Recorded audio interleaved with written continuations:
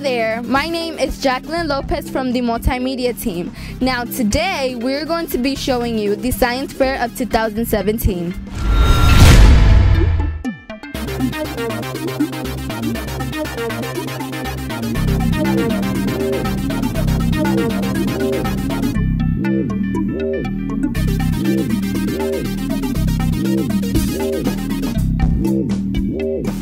Hi guys, my name is Diana Mojica and we're in the science fair and we're gonna look at the kindergarten projects which are behind me.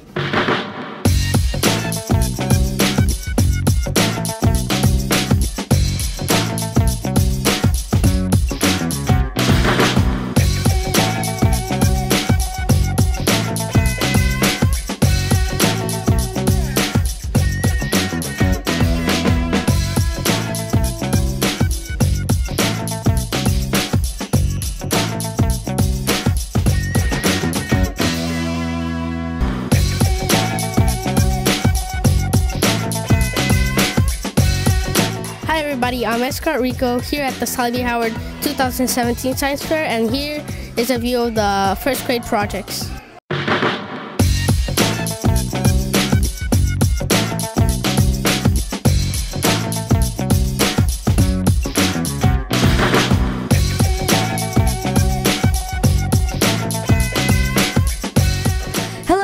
My name is Jamie Reyes Vasquez, and I'm here at the 2017 Science Fair projects of Sallie B. Howard.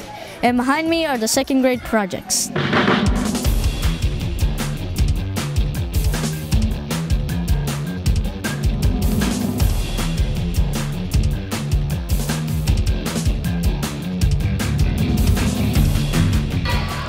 Hello, my name is Elijah Johnson, and I want to show you the third grade section.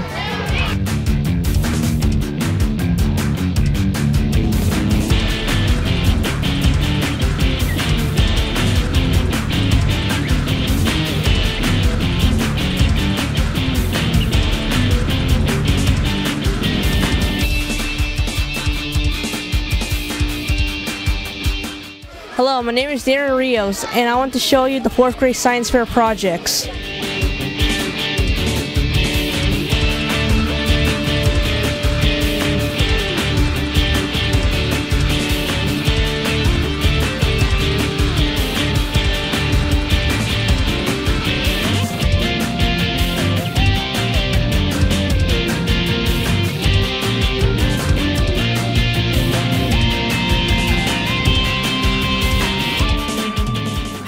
I'm Escott Rico here again with the fifth grade projects.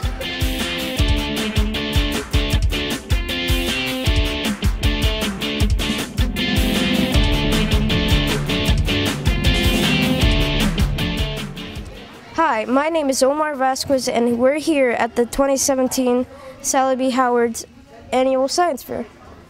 And here we are looking at this project called Art in Motion by Deanna. Tell us a little bit about your project. So what we did, we built dominoes as you can see in the picture right here, these two.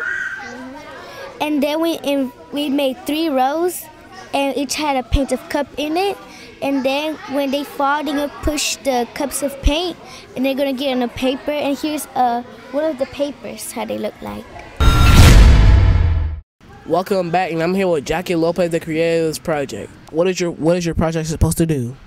So you put, you grab magnets, then you put a battery on top, and then you put around some copper wire. This copper wire should should start spinning because of the magnetic force. How did you come up with this idea? Um, basically, I was looking around websites, and this one looked mo- most interesting to me, so that's how I chose my project.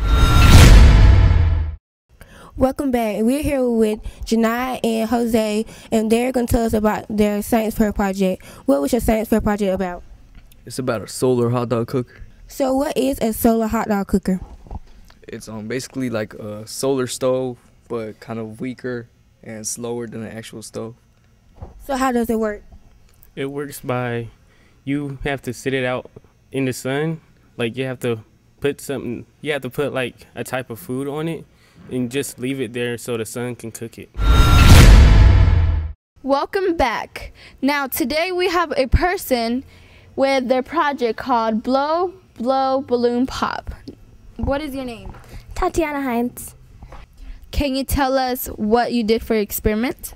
Um, we took like bottles and we put separate different colors in them and different colored balloons and we put pop rocks in each balloon and we put the balloon on and it flipped the pop rocks in the bottle, which like kind of con- kind of made a little fizz and the fizz kind of blew up the balloon. So, What flavor did you use? um, not any flavor. I used food dye, but for the pop rocks, I used watermelon. Watermelon. Okay. Was it easy to conduct this experiment? Um, yeah, actually, because these are materials that you can use at home, and yeah, they're really easy to get.